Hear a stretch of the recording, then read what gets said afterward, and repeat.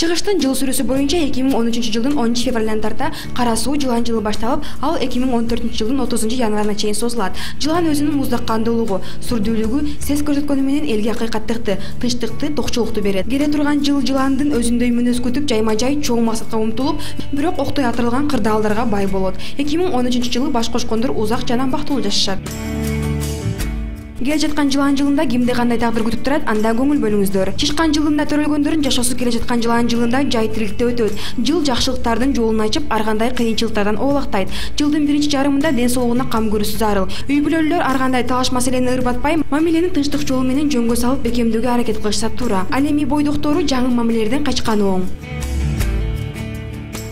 каалаганын жасаган уй жылында төрөлгөндөр жашоого кенен кадам ташташат. Алар өзүлөрүнүн күчүнө ишенип үй бүлөдө да жумушта да биринчиликке чыгышат. Жыл башталгандай эле көздөгөн максатына жеткенге умтулушат. Башталган жылдын аягына чейин алар жакшы каражат табат. Бирок чыгаша көп болот. Сүйүүдө өнөктөштөрдүн ортосунда махабат солгундайт жалгыз бойлуулары эки миң он үчүнчү жылы түбөлүктү түгөйүнө кезигиши мүмкүн жолборс жылында туулгандар бул жылы ийгиликке жетип жоопкерчиликтүү жашашат. Бийликчил сүрдүү жолборстон жылан чоочулап эч кандай тоскоолдук кыла албайт. Жолборстордун коркпой иш алып барганы айрымдарга жакпайт. Ошентсе да жолборстор ар дайым жеңип чыгат. Эки миң он үчүнчү жылы жолборстор материалдык абалын оңдоого мүмкүнчүлүк түзүлөт. Ар кандай талаш тартыштардан качышы шарт сүйүү мамилеси жолборстун оюндагыдай болбойт эки миң онунчу жылдын башталышында эле коен жылында төрөлгөндөрдүн активдүүлүгү артып жеке жана коомдук турмушта активдүү жашоого өтөт. Жылдын экинчи жарымы тескерисинче жай өтүп үй тиричилиги менен алектенишет. Баардык жаралган кыйын кырдаалдарды билгичтиги менен жеңип кетет. Үй бүлөлүүлөр үчүн жылан жылы сүйүү жаатында унутулгус романтика тартуулап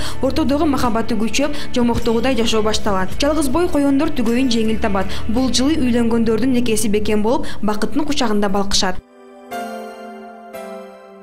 балык жылында төрөлгөндөр күтүүсүз окуяларга көп күбө болушат. Алардын кайдыгерлиги жетекчиликке жакпай сүйгөн адамында ренжите баштайт. Жалкоолугу да көпчүлүктүн кыжырын кайнатат. Анткени менен бул жылы канчалык жалкоолукка берилсе да акчадан өксүшпөйт. Жалгыз бойлору өмүрлүк түгөйүн табат. Бирок аларды колдон чыгарып жиберишпесе болду жылан жылында төрөлгөндөр жылдын ээси болгондуктан каалаганын жасаса жарашат. Алар жашоодогу көз карашын өзгөртүп конкреттүү бир максатты көздөп бакубат турмушка умтулушат. Жылан жылындагыларга бул жылы акчаны көп тапканга мүмкүнчүлүк түзүлөт. Жеке ишкерлигин өнүктүрүүгө каражат топтойт. Үй бүлөлүк жашоодо жыландарды бакубат тынч тиричилик күтөт. Жалгыз бойлорго жаңырган жыл сүйүү тартуулап кам көрө билген түшүнгөн жандарга айланып тез эле жакшы жагына өзгөрүшөт жылан жылы жылкы жылындагылар үчүн бактылуу жыл.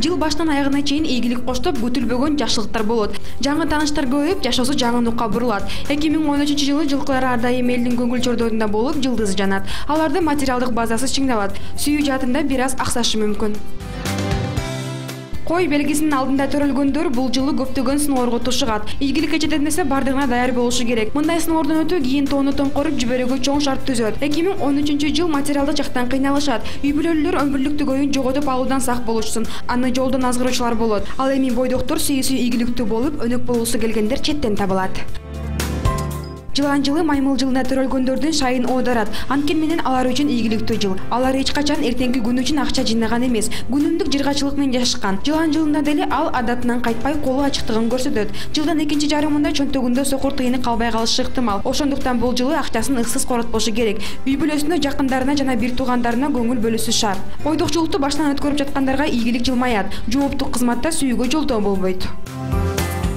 тоок белгисинде жарыкка келгендердин каалоосу күчөйт. Каалоонун кайсынысы күчтүү болуп жаткандыгына байланыштуу жылда ошондой өтөт. Эгер жумушка болгон каалоо күчтүү болсо иштешкендери аны мурдагыдан да катуураак сыйлап маянасы көбөйөт эгер сүйүү жаатында каалоо болсо жактырган адамынын жанынан чыккысы келбей башка жумуштарын унутат. Көпчүлүгү жумушсуз калышы мүмкүн. Сүйүү жаатында да пикир келишпестиктер көп болот. Эгер түгөйүн таба албай жүргөн бойдоктор болсо бул жылы убараланбай эле койсун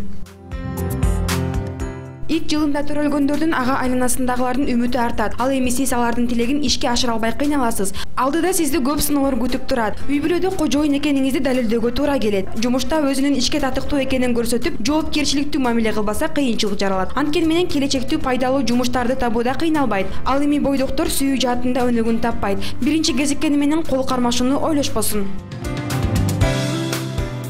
доңуз белгисинин алдында туулгандар үчүн келаткан жыл өтө ийгиликтүү болуп киреше көбөйөт. Жакшы таанышуулар мамилелер түзүлөт. Сүйүү жаатында кыйынчылыкка кабылат. Өнөктөшүнүн көңүлүн оорутуп сезимин ойнойт. Кызганыч үй бүлөдөгү мамилени бузат. Мына келе жаткан жылда кимди эмнелер күтүп турары жөнүндө маалымат бере алдык. Бирок кандай болсо дагы ар бирибизди жакшылык ийгиликтер гана коштосун